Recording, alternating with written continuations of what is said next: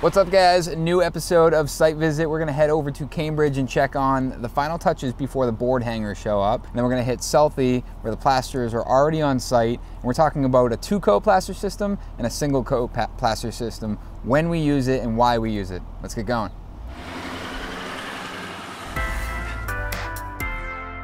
Guys, we are at Project 170. Uh, we just had a meeting with the architect we do that every two weeks just to touch base, see what's going on in the job site. Everything we got going on today, all the guys are here prepping for our blue board and plaster. We talked about last week all this resilient channel. Most of this has been installed. We actually have James from our millwork shop on site and he's installing all of his blocking for his cabinetry. Uh, the reason we do this, this gives him the opportunity to make sure he's got the blocking he needs before board goes up and then he's chasing uh, any of the, the blocking in the wall, especially with a resilient channel like this where you know there isn't that normal uh, 16 inch on center blocking. So he wants to make sure he has the adequate blocking that he needs. So a couple things going on. We talked about this ceiling last week and you can see how this all framed out. A few of you guys actually reached out about the suspended ceiling track system. We, we discussed actually using it. Uh, it didn't work out here for a number of reasons, so we end up using the, the hi-hat, resilient channel, whatever you want to call it, up on the flat. Uh, and you can see how we've kind of structured, you know, all of this, you know, unique blocking to make sure that we were going to be able to span across this ductwork. Brian actually went to Best Buy late last night and picked up a brand new TV for his uh, computer monitor replaced. I'm just kidding. Uh, we get the TV um, mocked up on the wall there. And the reason we got the TV on site is because Brian got the, the swivel bracket and there's actually going to be a niche in that wall to make sure that the TV is centered. So rather than going off specs, which we've been failed by before, figure we get the TV on site, mount the bracket to it, figure out exactly where that TV is going to sit so we can get the blocking in the wall for that TV.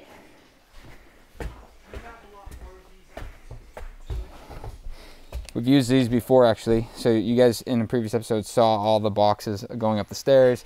A few of you guys had joked about this being able to plug your phone in any step you were sitting at. Uh, what they are is they're actually lights. So we've installed these in preparation for the board. Make sure he's got what he needs. So when he comes, we can tuck the board behind there, but realistically we'll pull these off and then that will all get plastered in and painted and they'll, uh, they'll be nice and flush in within that plaster up top here, one of the things that the, architect was asking us about is this conduit and making sure that it is painted and anywhere on the ceiling, I think we've talked about this before, but anywhere on the ceiling we'll paint it to match. Uh, and then over here we'll paint it to match the, the black truss or the dark gray truss. Um, but we were also chatting about this. This piece of ductwork here is actually a four inch by 10 inch oval. It comes out from the mechanical room over there. What this actually is, is our ERV exhaust. This is part of the stale air that we're pulling out of this place. The reason it's right here is because it lands right above the cooking area. So anytime we're running cooking smells, we can have a ERV boost switch, and that boost switch is gonna basically ramp that ERV up to 100%. So we're exchanging that air at 100% capacity of that unit. So we brought the ductwork over here. It's tucked behind it. This is really the only spot you'll ever see this ductwork because from below it's on the backside of that, uh, that beam. Uh, so that, that will also be painted to match the beam. Uh, and we were just talking about different ways to kind of hide the straps uh, and just clean that up so it is really, really minimal. Uh, but let's jump over to the primary suite side of it uh, and we'll talk about a couple things over there. Is that for baseboard? Basically what's going on is they got a two by six, they're ripping it down on the table so we actually made them stop so we could film this but that's giving us solid blocking for all of our baseboard. Again, doing this horizontal resilient channel creates some challenges as far as how we block things, how we mount our receptacles, all of that, and we're, we're going through and making sure that we're thinking about, well, the next trade, the finished carpenters are gonna come in and put baseboard in, you know, they're not gonna have anything to attach to. Uh, and, you know, actually in my previous commercial days, I remember a lot of these guys would basically diagonally or diagonally nail baseboard to the, the drywall with glue behind it uh, and just rely on that. We don't want to do that here. We want to have a nice solid connection. So that's a good detail. This right here, you guys are gonna just gonna have to trust us on this because this is actually a niche and it gains us a few inches for our future hidden freezer that's gonna be here. And the reason we needed those couple inches is because we didn't want the cabinetry to be too far out. Um, but Doug, just make sure you get a good picture of that because we'll, we'll come back to that in, in a future future episode. Actually, I'm gonna sneak behind Pat here. Pat's actually boxing in uh, one of our plumbing stacks. One of the things we were talking about with the electrician is we have a three gang box here. It's awfully tight to that plumbing chase uh, box out. So what we have going on there, order from left to right, is we have a light switch for the main lights, which is dimmable. A second switch for the shower light, also dimmable. They cannot be on the same circuit because the main lights the uh, are line voltage. The shower light is actually a low voltage. And that third switch is actually the boost switch for the bathroom. So when you're in here, you hit that button, it boosts the ERV again up to that 100%. Uh, and the, the idea is that you have this delay timer. So after, you know, 30 minutes after you, you're out of the bathroom, it would kick off. We're trying to reduce from a two to three because it just doesn't work. The switch plate's gonna be jammed into that corner. So one of the things that we kind of kicked around is what if we had a motion switch? What if we came in this bathroom and then a motion detector essentially said, hey, there's an occupant in this room, kick up the ERV to 100%. Now, if it was a bathroom fan in the space, probably be pretty annoying because you'd hear that fan ramp up every time you walked in. Being that it's an ERV located in a separate location, it doesn't really impact anything. And I think anytime you're in here, it just ramps up to 100%, exhausts that stale air. It's not gonna hurt anything and it's not gonna be a nuisance. So we're right now, we're actually very much right now looking into a couple different uh, occupancy sensors because we can't do one at the switch location. It's gonna have to be, I'm hoping up in that corner there. Uh, so it, it doesn't tr get triggered by anything outside the room. But once you're in here, it, it does trigger. And then again, we do a, a delay uh, stop on it. So after 30 minutes of runtime of not seeing any occupant in the room, it would kick off.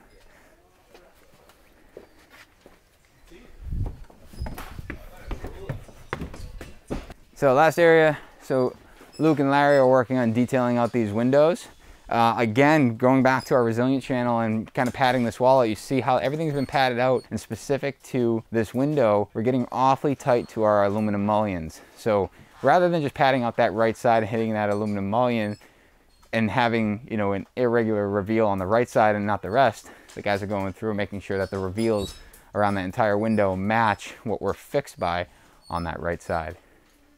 And then from there, they're, they're basically detailing up any of the the resin tape, we have a, I'm doing that thing, Doug, where I don't breathe. so Monday we we actually have a blower door test here, uh, and we'll do it at the end of the job, but we figured we'd do it now with our air barrier up and just see what improvement we've made since we started this project. Uh, so you have to stay tuned for the next episode uh, where we, we capture that and we talk about what our, our blower door rating was. Um, but that's an update here. Next week, like I said, we'll do the blower door test, but we'll also start hanging board and getting into plaster. Speaking of plaster, we're gonna go over to Southie where they're actually in the process of plastering. We're gonna show you a couple of the uh, systems that they're using. One being a traditional one coat. We're also doing some uh, two coat processes there uh, to help you know, with ultra flatness uh, with some of those big skylights that we showed you in last week's episode. So let's head over there.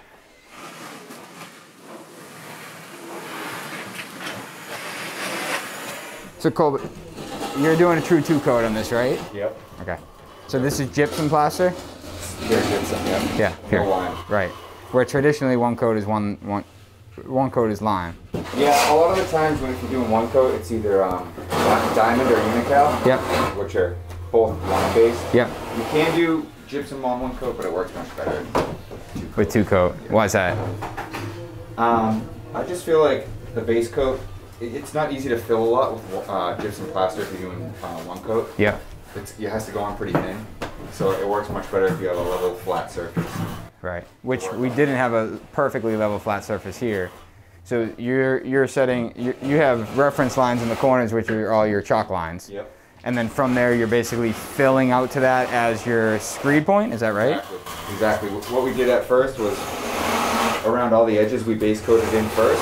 Yeah. Basically are using that as our point to fill the narrative. Right, so now you're just filling in, using your long straight edge. You guys are pulling that across, mm-hmm.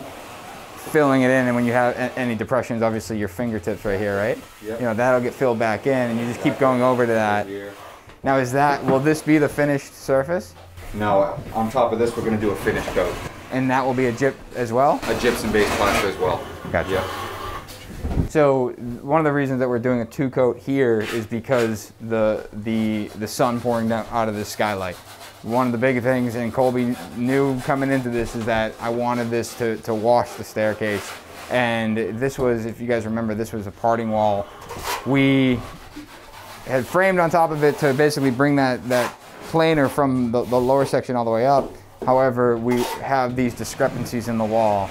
Now, looking back, there was probably an opportunity for us to, to correct that in the framing, uh, but we didn't, and these guys are on site. And originally, we were gonna do a single coat plaster on this wall. Uh, we opted to do the two coats so we could get these reference points and build out the highs and lows, or primarily build out the lows to meet the highs. And then we would have this flat wall. Uh, so when the light pours down it, we're not getting the, the waviness. Um, you know, I know in my personal home, I have this giant staircase with a ton of natural light, and you can almost see the framing, and you get the, the screw heads and things like that. You know, another another thing with the screw heads, you don't see it here, but you see it on this wall over here. They, they mesh tape across all of the screw heads. Um, it's not something that's uh, necessary, but it's something that we've certainly seen an improvement on uh, as far as the screws popping through the finish. But this, it was the ceiling in there two coated as well?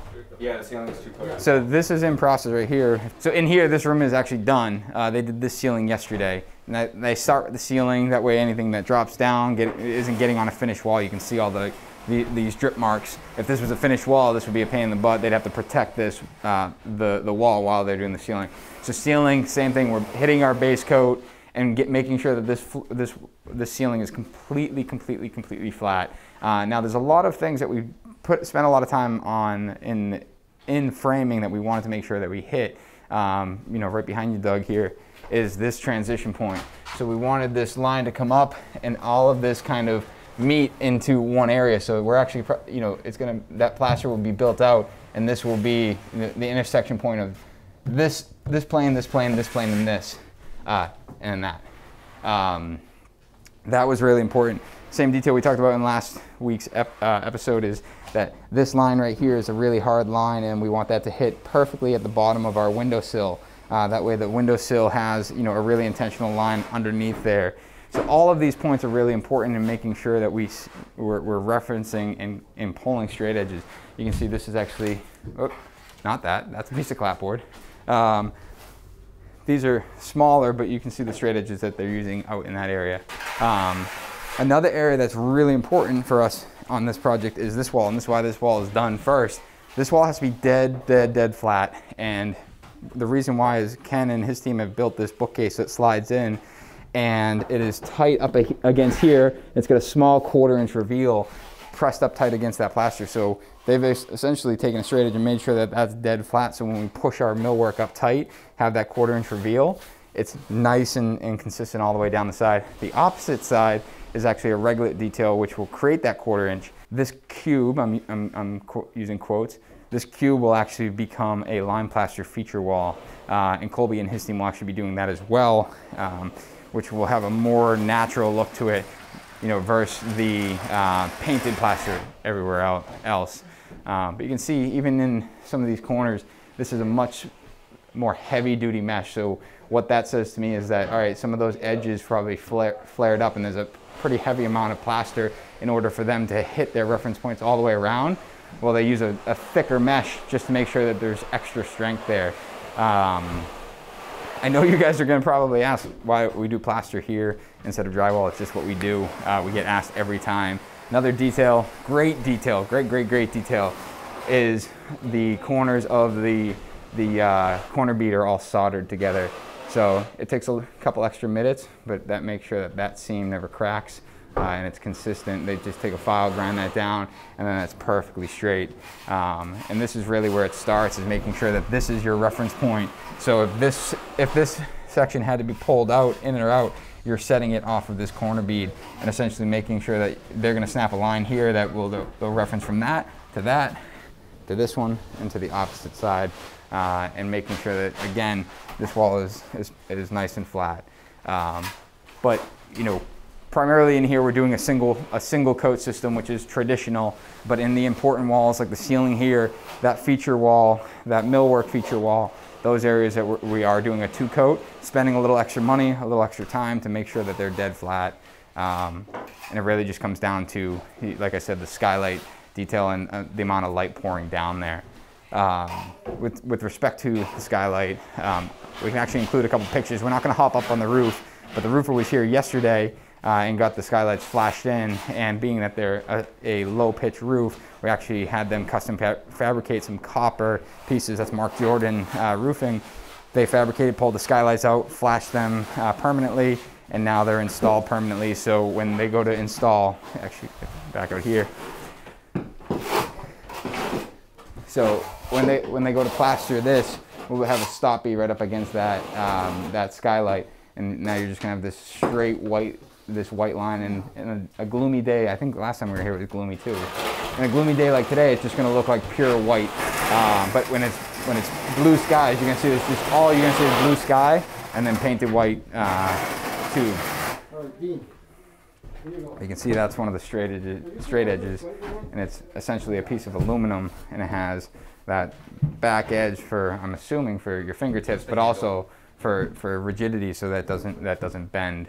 Uh, and especially as they get longer, they're going to be more apt to bend. And um, and you've seen Colby will actually hold the top of one, and down below he's got another guy dragging it across, making sure that that stays off of their reference points. Now, Colby, is it important to go in both directions? Yep. Um, yeah, it's always important to film both directions, um, especially on a, a, wall like this.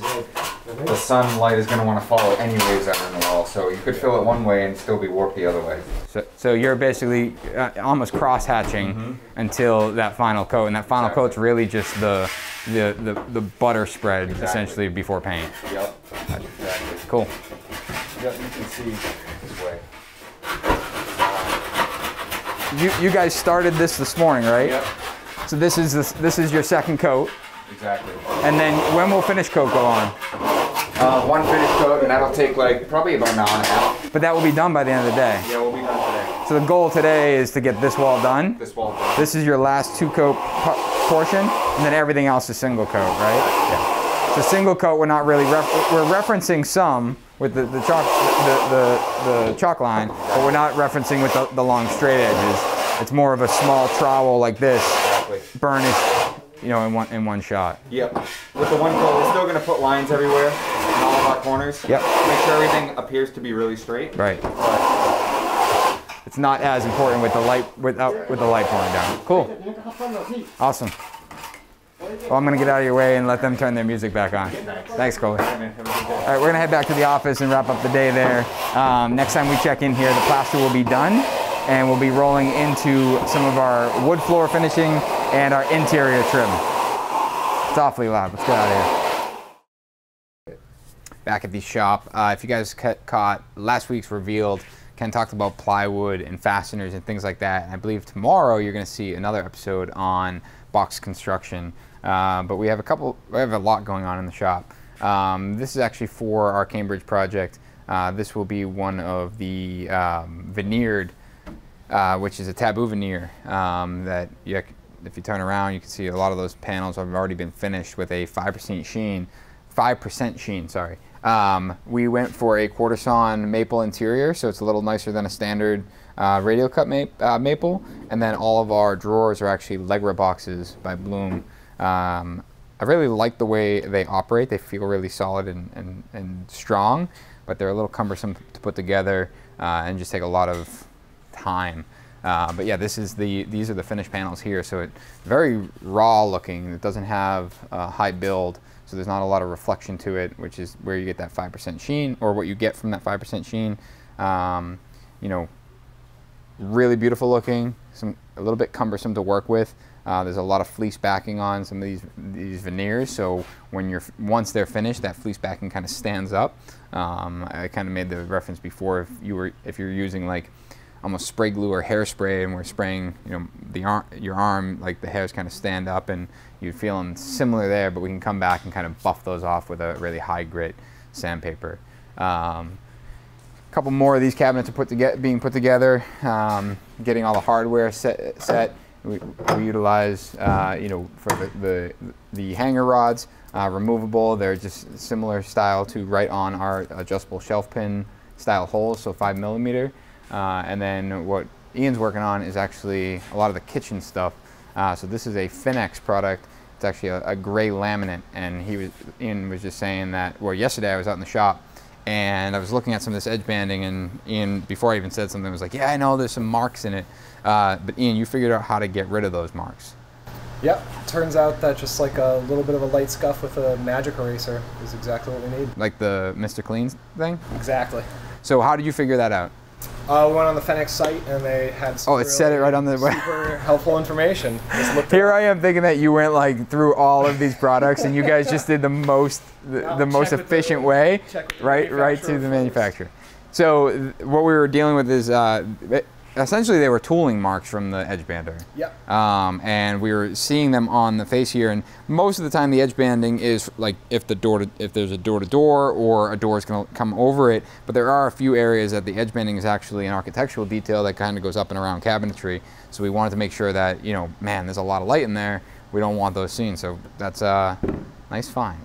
It's gonna work out.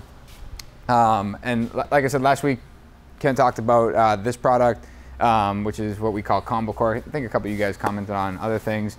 Um, everything else has really been moving out into storage and, and getting into some of the job sites, uh, both the Cambridge project that we looked at earlier and as well as the South Boston project.